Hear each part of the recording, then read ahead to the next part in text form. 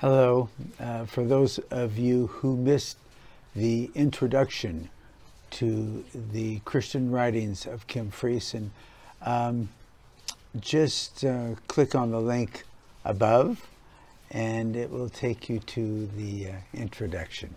Thank you.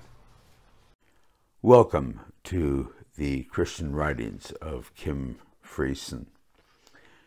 And she writes, I cannot find works to describe the pleasure the Lord took in presenting the gems to the Father, saying to him, Father, they loved not their lives unto death. They agree with us that all things of the earth are temporal, and they have not clung unto their losses. They believe the word you gave me to give to them.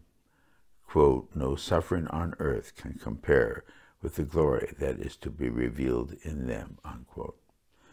They have agreed with you what you revealed to them through my life on earth, when I showed them that for the glory set before me, I endured the cross.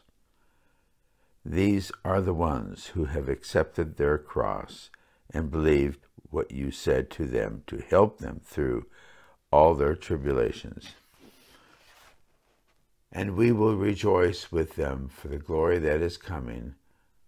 I know how generous you are and how willing you are to give them of your glory. I thought to myself, why do we make such spiritual complexities of the simple truth of being one with the Lord? To be one with the Lord is to agree with him. How sweet and satisfying is the simplicity in Christ. Therefore, harden not your heart in your time of tribulation, lest you begin to disagree with His word and lose His ever present help that will lead you to the prize of His glory, which He longs to share with you. The Christian Writings and prophecies of Kim Friesen. Thank you, Jesus, and thank you, Kim.